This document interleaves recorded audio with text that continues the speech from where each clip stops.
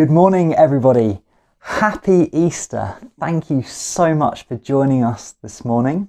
My name's Duncan, and it is a pleasure to welcome you to our online Easter Sunday service. Thank you for joining us wherever you're watching from. Jesus Christ is risen from the dead. Hallelujah. It's amazing news, isn't it? Jesus Christ defeated death by rising from the grave. And that means each and every one of us can have joy and hope this morning, even in the midst of our current circumstances, as we hear more news about the impact of coronavirus on our world. And yet, because of the resurrection of Jesus Christ from the dead, each and every one of us can rejoice and have hope. We can have hope because Jesus Christ defeated death on that Easter Sunday nearly 2,000 years ago. And when he rose from the grave to defeat death, he made a way that all who would trust in him, all who would believe and have faith in Jesus, might also look forward to a resurrection to come, an everlasting life with God forever and ever. And that fills my heart with hope and that fills me with joy this morning. And I hope it also fills you with joy and hope. In fact, um, wherever you're listening from, why don't you just now just pray? Spend a moment in your heart and speak to God and say, Lord, fill me with hope and fill me with joy this Easter Sunday morning because of Jesus Christ's resurrection from the dead. And as you pray quietly, as you connect with God quietly in your heart, let me lead us all in prayer together. Heavenly Father, we thank you for Easter Sunday. We thank you for Jesus Christ's resurrection from the dead. We thank you that he was mighty to defeat death. The chains of death could not hold him, but he was raised to life. And we thank you that Jesus' resurrection secures for us a future resurrection. All who would believe in Christ have a future resurrection to look forward to, where we will live in everlasting paradise with God forever and ever. And so, Lord, I pray that that amazing news might fill each and every one of us with joy and hope. Fill us to the brim with joy this morning, I pray. May you have your hand over everything we do this morning, and I pray you are glorified in everything that happens as part of our service today. In Jesus' name, Amen.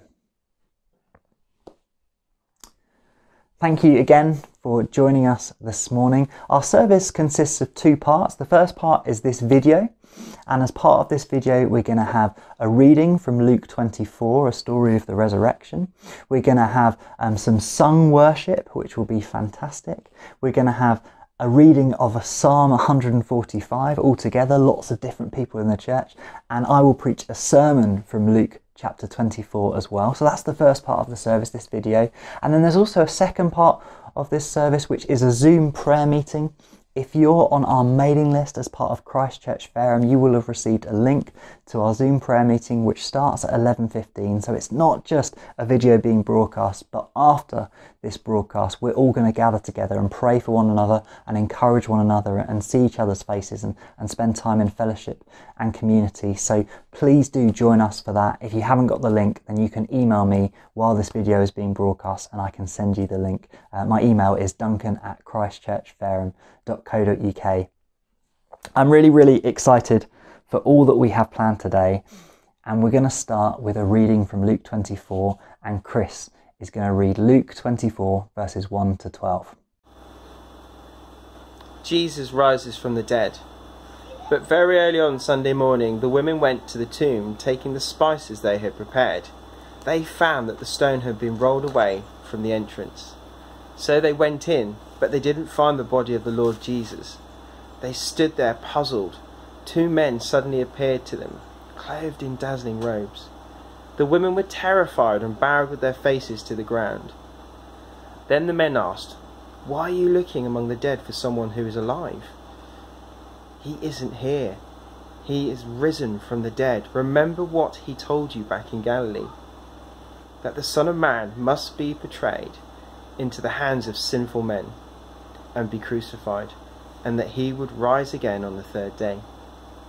Then they remembered that he had said this So they rushed back to the tomb to tell his eleven disciples and everyone else what had happened. It was Mary Magdalene, Joanna, Mary the mother of James, and several other women who told the apostles what had happened. But the story sounded like nonsense to the men, so they didn't believe it.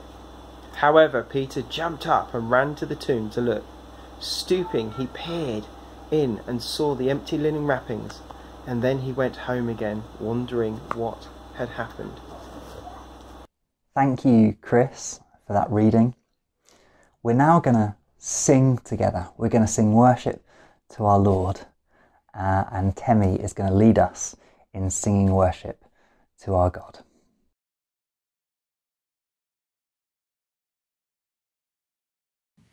The moon and stars they wept, the morning sun was dead, the Savior of the world was fallen.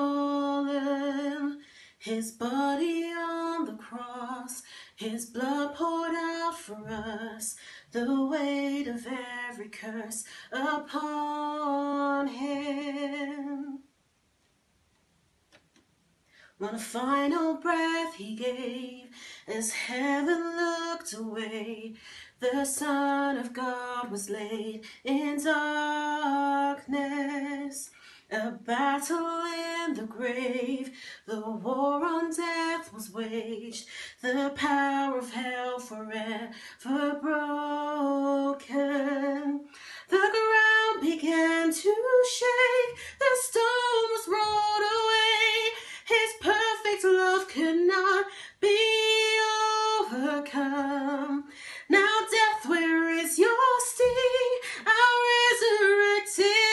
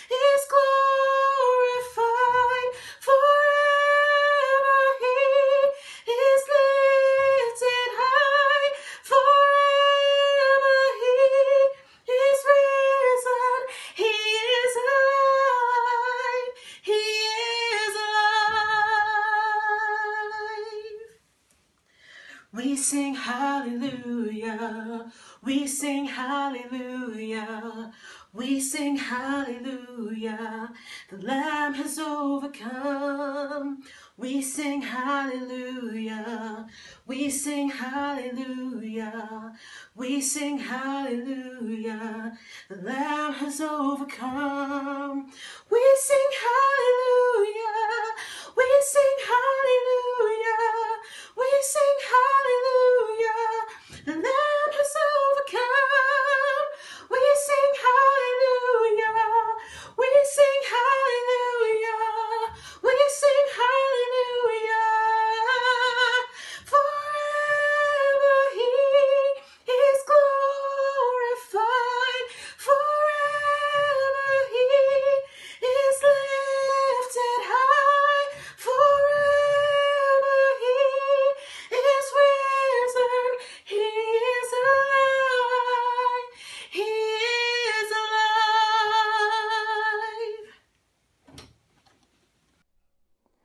Thank you, Temi.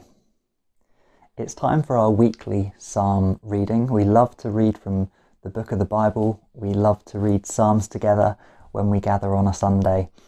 And um, this has become one of my favourite parts of our service as we see lots of different faces um, reading Psalm 145 together. So please do enjoy Psalm 145, as well as lots of different faces and lots of different living rooms as we go all around Fareham and different people in the church read to us from Psalm 145. Psalm 145 A psalm of praise of David. I will exalt you, my God the King. I will praise your name forever and ever. I will bless you every day. I will praise your name forever and ever. Great is the Lord. He is most worthy of praise. No one can measure his greatness. Let each generation tell its children of your mighty acts. Let them proclaim your power on the glorious splendour of your majesty, and on your wondrous works I will meditate. People will speak of your mighty deeds, and I will proclaim, proclaim your greatness. They will tell about all your goodness and sing about your kindness. The Lord is gracious and compassionate, slow to anger and rich in love. The Lord is good to all. He has compassion on all he has made. All your works praise you, Lord. Your faithful people extol you. They tell of your glory of your kingdom and speak of your might, so that all people may know of your mighty acts and glorious splendour of your kingdom. For your kingdom is an everlasting kingdom. You rule throughout all generations. The Lord always keeps his promises. He is gracious in all he does. The Lord upholds all who are falling and raises up all who are bowed down. The eyes of all look to you, and you give them their food at the proper time. You open your hand and satisfy the desires of every living thing. The Lord is righteous in all his ways, and loving toward all he has made. The Lord is near to all who call on him, to all who call on him in truth. He fulfills the desire of those who fear him. He also hears their cry and saves them. The Lord preserves all who love him, but all the wicked he will destroy. praise the Lord. And may everyone on earth bless his holy name forever and ever. Thank you to everyone who is involved in reading Psalm 145. It's wonderful to see so many different people praising the Lord together. Shall we pray as I come to read from God's Word uh, and preach the sermon this morning? Let's pray. Heavenly Father, we give you thanks and praise this morning. We worship you. You are a God of love, and you showed your love for us, Jesus Christ, upon the cross as you died for our sin. Lord, you're also a God of power. And Lord God, you showed your awesome power when you, when you raised Jesus Christ from the dead on that Easter Sunday so many years ago. Thank you so much for the resurrection. Lord, I pray as I preach from your word, I would speak truth and each of us would look to Jesus Christ, your Son, as Lord and Saviour. May we be encouraged by the forgiveness of sins Jesus won upon the cross, and may we be filled with hope at the victory Jesus had over death in his resurrection. Lord, I pray this would be a time of honouring and glorifying you in Jesus' name. Amen. The Easter weekend is the most important moment in all of history. That, that Easter weekend, nearly 2,000 years ago, changed, transformed the world, and it should transform our lives here and now as well. Jesus Christ, the miracle worker, the kind and compassionate one, the one who healed the sick and loved the poor and the needy, the blameless one, the sinless one, the one who never did anything wrong, Jesus Christ, on Good Friday, was put to death. He died a bloody, painful, agonizing death upon the cross the man who had never committed any crimes died a criminal's death. The Bible teaches us, and we believe, that Jesus did not die for his own sins, but he carried upon himself the sins of the world. So that anyone who believes in him, anyone who puts their faith in Jesus Christ, shall not perish under God's judgment, but rather receive forgiveness from God.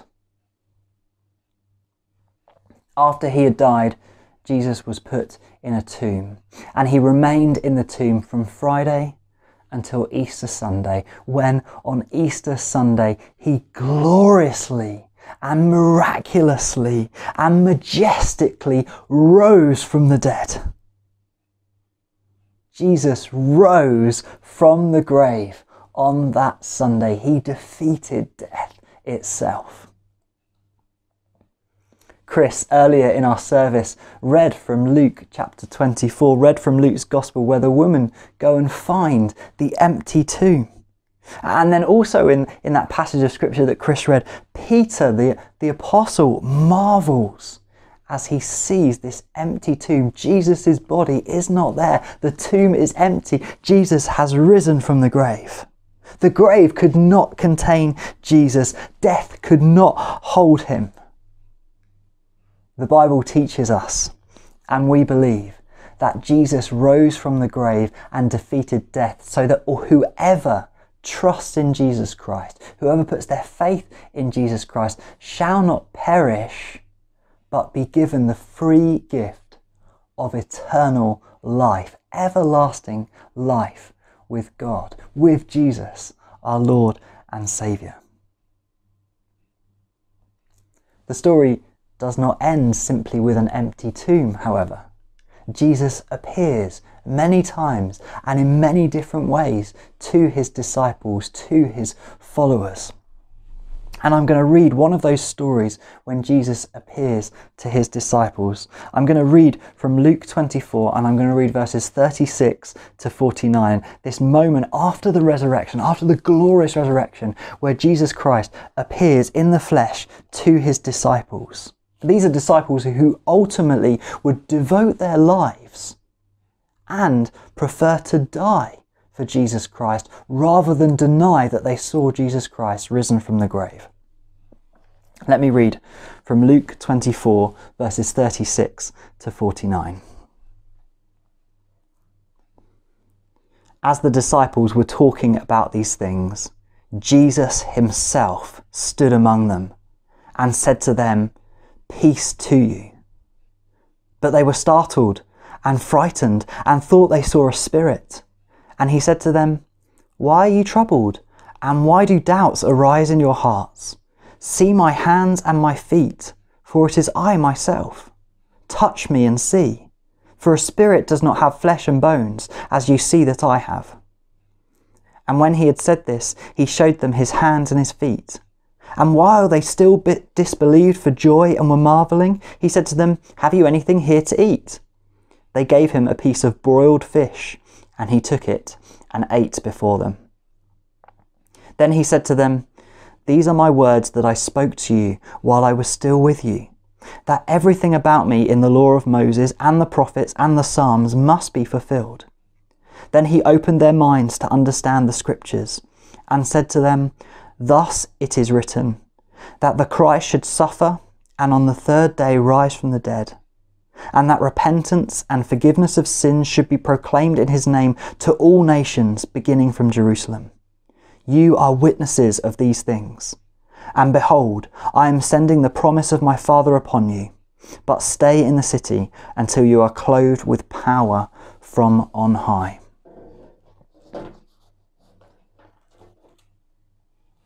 I love that story of Jesus appearing to the disciples and even eating before them so that they would believe that he truly was physically resurrected from the dead. It's a great, great story. But my intention this morning is to focus on verses 46 and 47.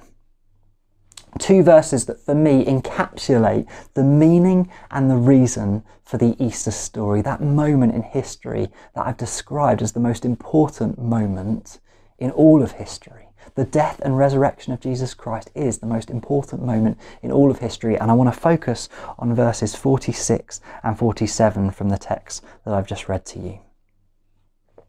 The first thing I want us to see in verses 46 and 47 that Jesus is the Christ. Jesus is the Christ. Christ is not Jesus' surname. No, Christ is a title. When, when we call Jesus Jesus Christ, we're saying Jesus the Christ or Jesus the Messiah. Christ is just the Greek word for the Jewish title Messiah. And so when Jesus speaks of himself in verses 46 and 47, he calls himself the Christ. And so I proclaim to you this morning that Jesus was the Messiah, Jesus was the Christ spoken about in the Old Testament. Over hundreds of years, across many generations, the nation of Israel gathered these writings and gathered many prophecies together about the Messiah. And Jesus is the Messiah who fulfilled those prophecies. Jesus is the anointed king described in the Old Testament. Jesus is the descendant of David, the greatest of all the Israelite kings. Jesus is the king who would reign forever. It is said in the Old Testament that the Messiah would be a king who would reign on David's throne forever. Jesus is the king who is also a saviour. For the Messiah, Jesus Christ, would save Israel from their sins. And not only Israel, but anyone who would believe in Jesus Christ from any nation, all who believe in Jesus Christ will be saved from their sins by Jesus' death and resurrection from the dead. And so that's the first thing that I want to say to you this morning. Jesus is the Christ. Jesus is the Messiah prophesied about in the Old Testament. The second thing we can take from verse 46, Luke 24, verse 46, is the way in which Jesus saves. He says in verse 6, It was necessary for the Christ to suffer death and on the third day rise from the dead. Verse 46 reads, Thus it is written that the Christ should suffer and on the third day rise from the dead there appears to be this Jewish expectation that the Messiah would be a mighty warlord and he would save Israel by driving back the Roman Empire, removing the, the empire invasion that is upon the land of Israel. And so the Messiah would be a mighty warlord, drive the Romans back and free the Israelites from Roman rule. But that was not God's appointed means of salvation. Rather, God appointed it that Jesus should save by dying on the cross and then rising from the dead. Jesus saves by dying and then rising from the dead. Jesus' death demonstrates God's justice and also Jesus' amazing love for us. God's justice was shown on the cross in that it would not be just for sins to go unpunished. And so, if, if it's not just for sins to go unpunished, how could God be both merciful and yet still remain a just Lord, a just King? The answer, the only way for God to be just and merciful, was for God Himself to take the punishment for sin upon himself by dying in our place as a substitute. That's exactly who Jesus is. Jesus is God Himself dying in our place, dying for our sin as a substitute in our place. And so, consequently, the cross is a symbol of God's justice, God's, God's goodness. But more than that, the cross is a sign and a symbol and a demonstration of Jesus' undying love for us. I cannot emphasize this enough this morning. Jesus loves you. He, he loves you so much, he endured the agony of a crucifixion because he loves you. He longs, Jesus longs for you this morning to believe in him and to receive the mercy of God that he won for you by dying in your place upon the cross. Jesus shows great love for us upon the cross. He died for us in love. How can you measure how much Jesus loves us? Look to the cross and see the greatest measure of love that was ever displayed in all of history. In, if in his death, Jesus shows us his love, in his resurrection on Easter Sunday, Jesus shows us his power there is a king who is stronger than the grave. There is a saviour who is more powerful than death itself. His name is Jesus. And on Easter Sunday, as I've already said, he gloriously, majestically rose. Death could not hold him. He, he, he flung wide the chains of death and he was risen. He was risen on the third day. And so on Easter Sunday, every Easter Sunday since that that first Easter Sunday when Jesus rose from the grave, Christians celebrate Jesus' extraordinary power to defeat death in the resurrection. Extraordinary power. Our Lord and Saviour Jesus is more powerful than death itself.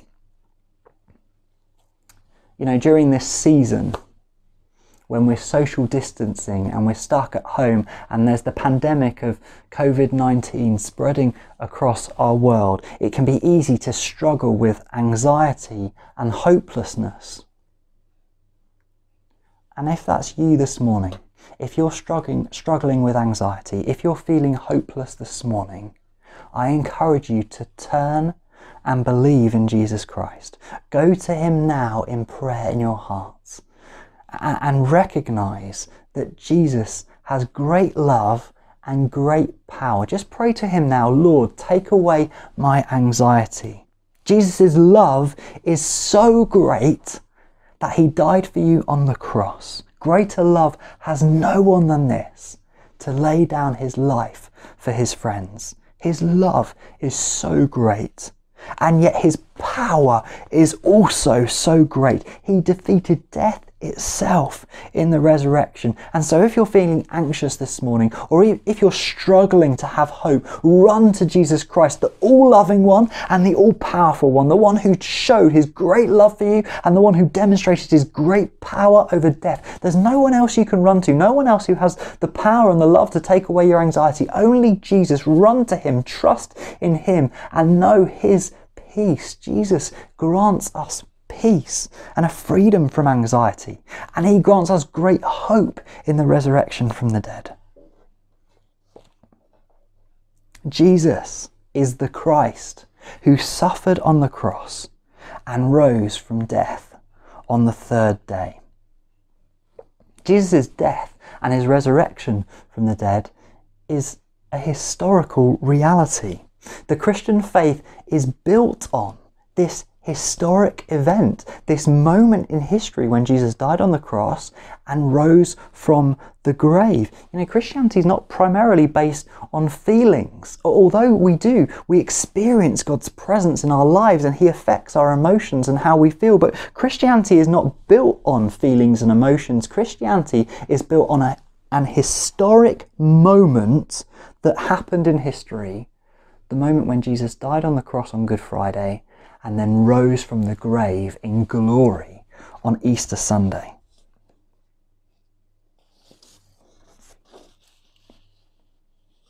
That's the second thing I want you to see in verses 46 and 47 that the Christ suffered death and rose on the third day.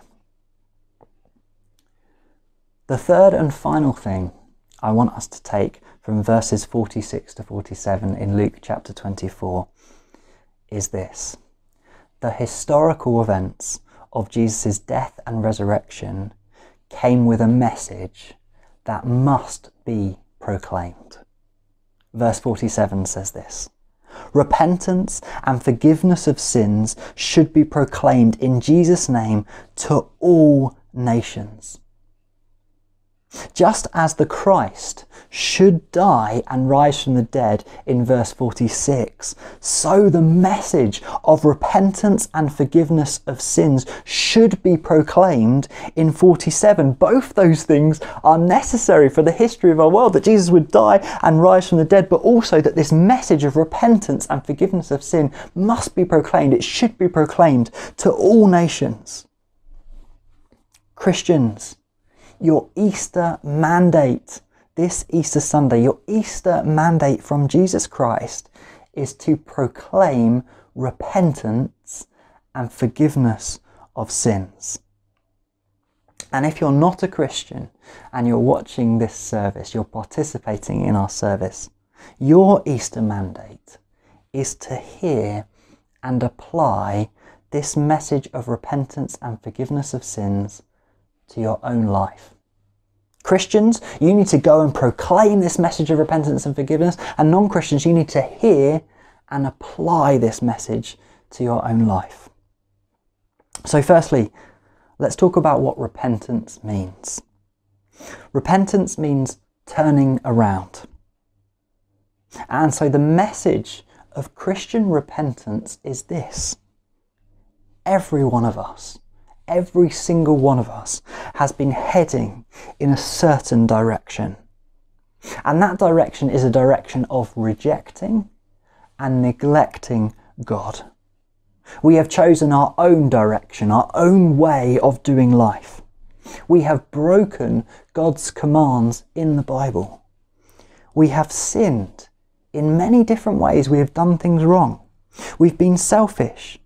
We've been proud. We've lied. We've hated people and slandered people. We failed to care for the needy. We've looked out for our own interests rather than the interests of others. The message of repentance is this. In light of Jesus' death and resurrection from the dead, we need to turn away from our sin and turn to Jesus. Instead of ignoring God, we need to turn to and trust Jesus Christ, who is God in human flesh. Instead of sinning, we need to turn and follow Jesus and obey his commands. Instead of doing life our way, we need to turn and do life Jesus' way. And the reason we must do that is because everyone who repents, everyone who turns from sin and believes and trusts in Jesus Christ, everyone who does that will receive forgiveness for their sins. The second part of this message that we must proclaim the forgiveness of sins. Imagine your life as a white garment of clothing and everything you've ever done wrong in your life is a stain of some description. Every time you've told a lie, that's a stain on this white garment of clothing. Every time you've been selfish, that's a, that's a mark, that's a blemish on this white garment of clothing. Every time you've spoken a hurtful word to someone, that's a stain on this white garment of clothing. In fact, every time you've thought something which has been offensive and horrible to someone who did not deserve it. That's another stain on this white garment. Every time you've been lazy, every time you've not done the right thing, every time you've not cared when you should have cared, every time you've been greedy, all of these things are stains on the white garment of your life. Imagine that in your mind right now, every wrong deed being a stain upon this garment of clothing. If you're anything like me, what you're imagining now is an absolutely filthy garment of clothing. In fact, on my garment, you cannot see any white. There is only dirt. There is only blemishes. There are only stains of sinful things that I have done upon my garment. You cannot see any white for the sin that I have committed. The glory and the beauty of Easter is forgiveness of sin.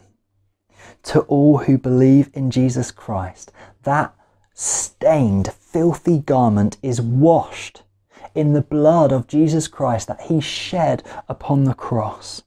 And as that garment is washed in Jesus' blood, it emerges brilliantly white, whiter than snow. If you believe in Jesus Christ, the garment of your life has been washed in Jesus' blood and emerges whiter than snow. God Himself, through Jesus' death and resurrection from the dead, clothes you in robes of righteousness. You can enter into the family of God. You can enter into the courts of the King, clothed in this gloriously white garment, blameless before God our Father in heaven. Forgiveness of sin is available to all who trust in Jesus Christ. And so, let each of us repent this morning.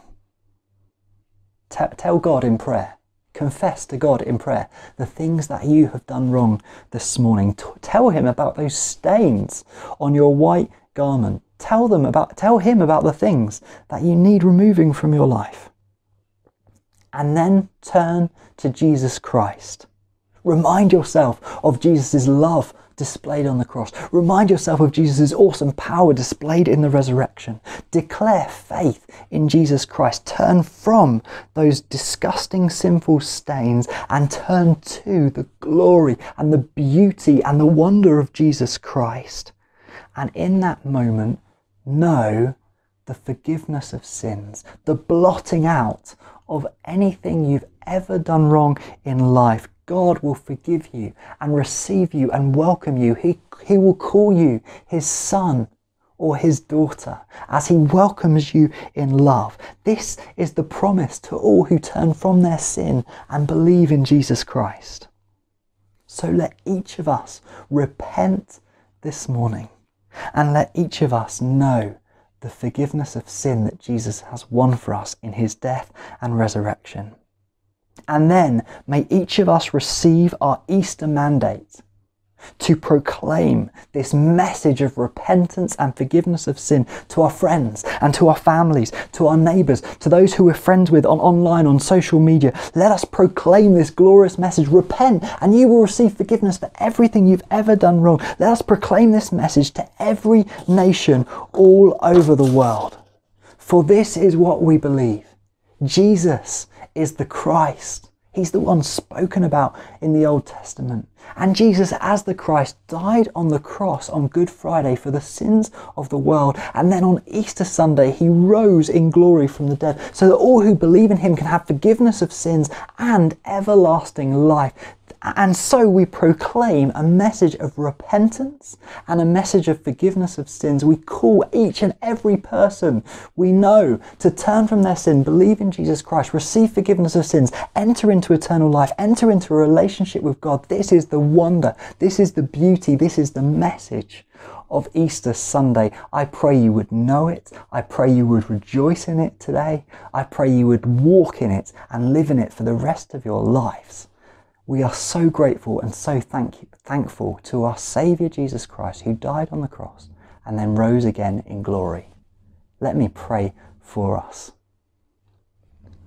Heavenly Father, we thank you for Easter Sunday. We thank you for the glorious resurrection from the dead. Thank you that Jesus Christ is the powerful one who is more powerful than the grave. He rose in glory and in power. We thank you also for Good Friday and the death of Christ on the cross for the sins of the world. Thank you that He carried our sins. And Lord, we confess again to you that we have done things wrong, that we have broken your commandments, that we were going in one direction and we were walking away from you, the author of life, in our sin. And yet now each of us turn and believe in Jesus Christ. We turn from our life of sin and we turn instead and trust in Jesus Christ and we follow him. We say Jesus is our King and we will follow him. We will live the life that he wants us to lead a life of love, a life of kindness, a life of caring, a life of victory over death, a life of glory and beauty, a life that is everlasting and will go on forever and ever. We thank you for the Easter story. I pray for anyone who's listening now who does not believe in Christ, Lord, change their hearts. And I pray for anyone who is already a Christian, who already believes this wonderful message of repentance and forgiveness of sin, embolden them, Heavenly Father, embolden them to go and proclaim this message where they are to their friends and family, but also to every nation in the world. Together as the church, may we proclaim this message because Easter is the greatest moment in history, the most important moment in history. It has transformed the world and it should transform every single life. And Lord God, we ask that you would use us to proclaim that message of repentance and forgiveness of sin, that many would believe, many would turn and believe in Jesus Christ.